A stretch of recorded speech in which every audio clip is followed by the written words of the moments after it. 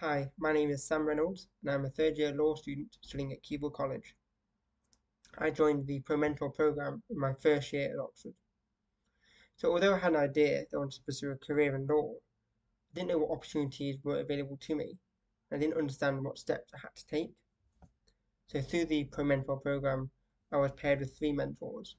The first worked as a lawyer at a top London law firm, the second worked at a think tank, and the third worked as a solicitor for the government legal department. So through this program, I really developed my understanding of what a career in law actually involved. I did this in two ways.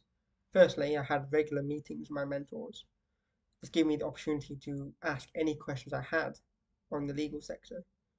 But I also got lots of insights from my mentors about what law firms were actually looking for in their recruitment process.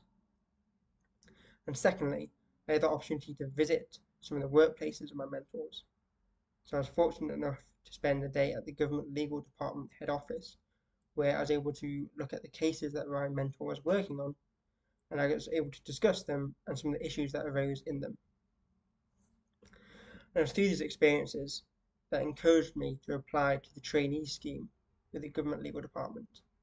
And thanks to the help of my mentors, I was successful in my application if I was to give advice for some people coming onto the program, I'd really recommend setting goals, whether that be setting an agenda for individual meetings with mentors, or whether that be setting an end goal, such as assistance when applying for internships and job applications. This really helps you achieve the best outcome in the program, but also allows for mentors to tailor their time and energy the sessions that will work best for you.